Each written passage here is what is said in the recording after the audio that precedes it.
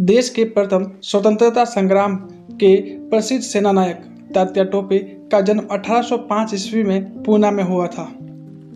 उनके पिता का नाम पांडुरंग येवलेकर था तथा तात्या टोपे का पूरा नाम रामचंद्र पांडुरंग येवलेकर था।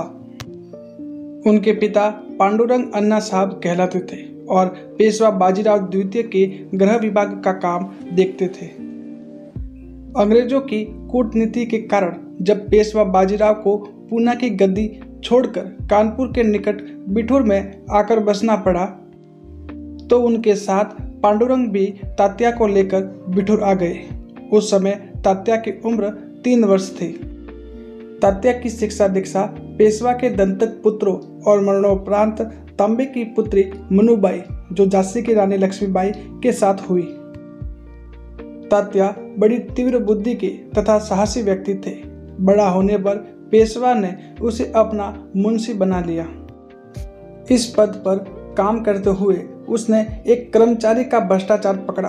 तो प्रसन्न होकर पेशवा ने उसे पुरस्कार स्वरूप अपनी रत्न टोपी देकर सम्मानित किया। तभी से वह तात्या टोपे के नाम से प्रसिद्ध हो गए।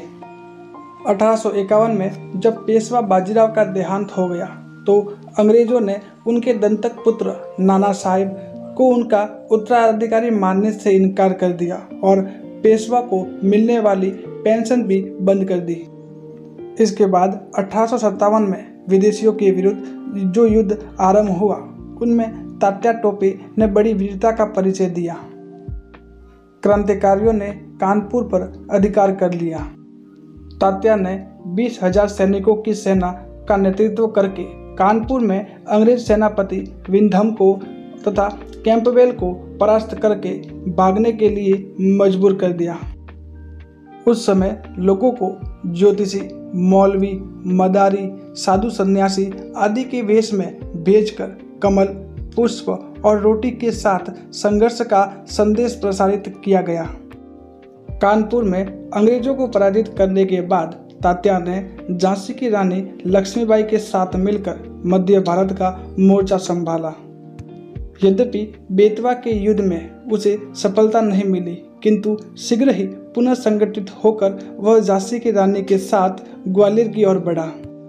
उसने सिंधिया की सेना को पराजित किया और सिंधिया आगरा में अंग्रेज़ों की शरण में चला गया, परंतु ग्वालियर पर कब्जा करने में हीरोज को सफलता मिल गई।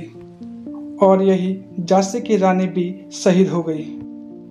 तात्या टोपे अंग्रेज़ों के हाथ नहीं आया, लेकिन अठारह में सिंधिया के सामंत मान सिंह के विश्वासघात करके उसे पकड़वा दिया और अंत में इस वीर मराठा देशभक्त को 18 अप्रैल अठारह को फांसी पर चढ़ा दिया गया।